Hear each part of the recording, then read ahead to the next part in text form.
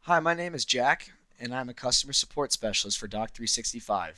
And today I'm going to show you how to create a document library in SharePoint and how to create a custom view for that document library. So here we're on a landing page, a custom site by Dock, and we're going to go to Site Contents. And this is where you go to create a document library. There is a shortcut to do it right through here, but to go to Site Contents, a little you get a little more options and you can see more of what's going on. So um, I like to come in here. So once the page loads, you're in site contents. This will show you all of your document libraries, all of your lists, everything you really need to see that you have going on in this site. So we're going to click this new button right here, and we're going to go to document library. Uh, let's just name this one library 1 for testing purposes.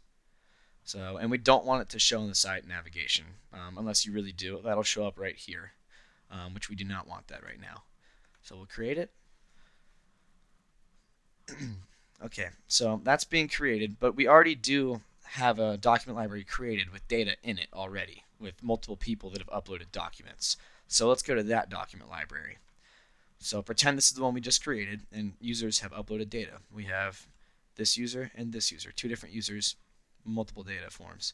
So now, if you want to create a specific view you're going to go to the library settings. So click on the gear icon and go to library settings.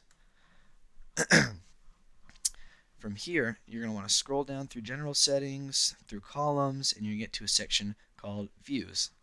Here we have a view called all documents, and that is the default view right now. That is why we see all the documents listed from both users.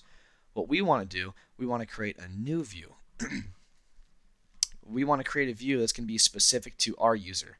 So we want to see only the documents that we submitted.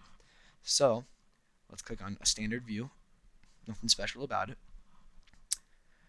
To achieve this, uh, let's call the view name My Documents. There we go. And we're going to want to make this the default view. that way when you click into this document library, it'll show you only your documents. So you can append this to uh, you know a link of some sort. So when you click on that link, it'll bring you straight to that user's documents. So we're going to scroll through columns. We don't need that. Um, actually, um, in here, we want to judge it by, we want created by to be a thing. So we're to do created by. That way you can select the filter off that column. So scrolling down, we don't need sort, filter. This is what we're going to want to use.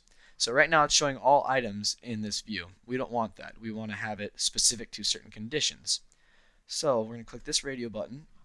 So right now, show the items when column we're going to look for created by.